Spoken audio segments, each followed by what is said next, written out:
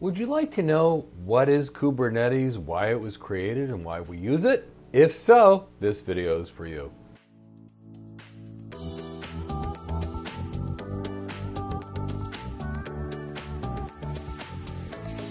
Hi, my name is Michael Gibbs, and I'm the founder and CEO of GoCloud Careers. And we're an organization that's dedicated towards building the most high performance cloud computing careers.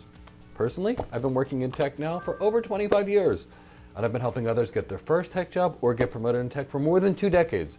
And I want to help you get cloud hired and get your first tech job.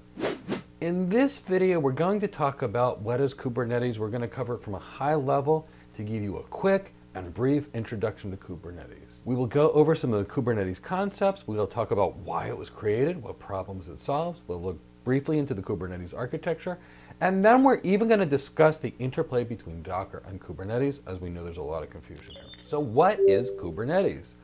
Kubernetes is an open source container orchestration platform. By orchestration, it's the control plane that determines how and where the containers are going to be scaling, growing, operating, etc.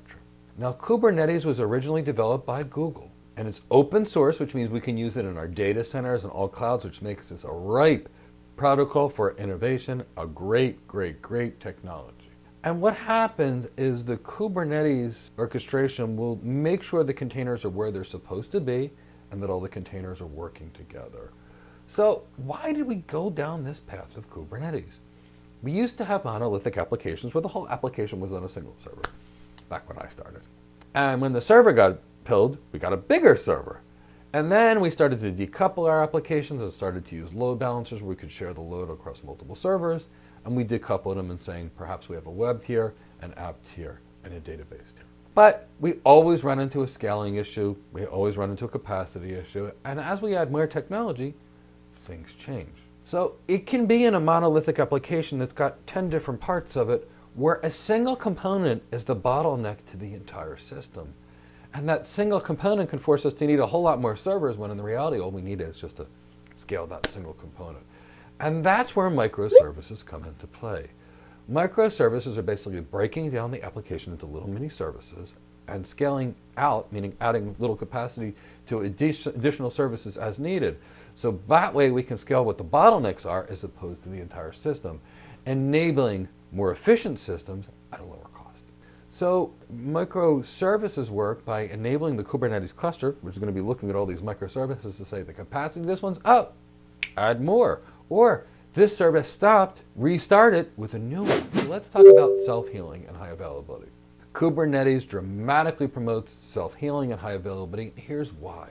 When the Kubernetes cluster and deployment is set up, they might say, I need 10 copies of service A. And if all that, and the Kubernetes orchestration is going to be looking at it saying 10 copies of service A are running.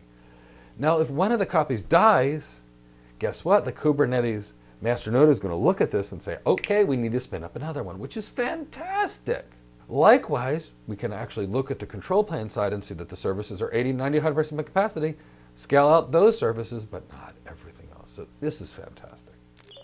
So you can see we've got self-healing, we've got the ability to add more capacity on demand. So how does Kubernetes work? And we're going to basically take this at a high level. At the top level, you've got the master node. The master node is the brain, it's the control plane that determines what should be and where. Kind of like the conductor in an orchestra that tells people to play louder, play calmer, you know, speed up, slow down. That's what the master node is doing. Now, what'll also happen in Kubernetes is we're going to have something called a pod. And a pod is going to be a collection of containers that are going to be a virtual machine. So you're going to have at the top, you're going to have your master node, and then you're going to have your virtual machines. And on your virtual machine, that's where your Kubernetes pods are. Now, of course, we can put the pods in a serverless environment, but let's assume we're working off of a virtual machine. The next component we want to talk about in Kubernetes is basically a service, and that's kind of like a load balancer that distributes your traffic to the pods. And it's, it's a software based load balancer that's part of it. The next part of Kubernetes we should talk about is something called a deployment. So when the DevOps engineer deploys Kubernetes, they're going to make a deployment file. It's going to end in a .yml YAML file. And this is where the developer of the application is going to include the specifications for the deployment. It'll usually include a replica set, which in, in turn tells them the number of containers to use. That's where all the magic happens. Have three of these. If one shuts down, add another one. Three of these are busy, Guess what? add more. So wonderful, wonderful, wonderful. Now, there's another component called the kubelet, and this is really a service that exists on the worker nodes. These are the virtual machines where the pods are created, which communicates to the Kubernetes cluster. So we talked about Kubernetes being a container orchestration platform. And there's lots of places you can run your containers on it. It doesn't have to be a Docker environment. But what is Docker then? Docker is a container runtime module. So look at it this way. If you have an environment, and you can see in this uh, graphic here, where you have your server, then you've got your operating system. Usually for containerized environments, there's typically Ubuntu Linux. On top of that, you've got a container engine such as Docker. And then you've got your container sitting on top of that. So Docker is a container runtime module. So how is the interplay between Docker and Kubernetes? Kubernetes does the orchestration of where all the containers need to be, and Docker enables the containers to run. Now, like I said, there's other versions other than Docker to enable containers to run in today's world, but that's what Docker does.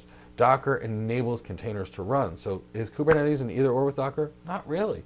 Kubernetes is the manager. Docker is one of the potential container runtime modules that you can use. So as you can see, Kubernetes is an open source framework, which means we can use it on a hybrid cloud, a multi-cloud, a data center, or a single cloud. It's an open source framework, so it enables and facilitates fantastic transformation. Not just that, it scales great and it improves availability and system performance. I hope you've enjoyed this introductory video on what is Kubernetes, what is Docker, and the interplay between the two.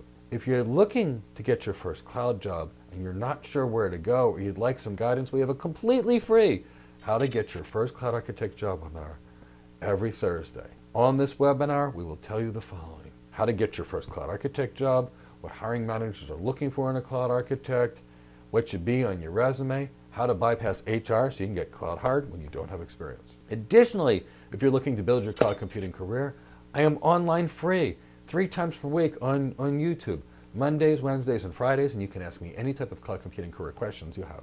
Maybe how to become a cloud architect, how to become a solution architect, how to become a cloud engineer, how to get that first cloud architect job, solution architect job, or a cloud engineer job, because I want to help you all get cloud hard. This is Michael Gibbs, and I look forward to seeing you in another video. Take care.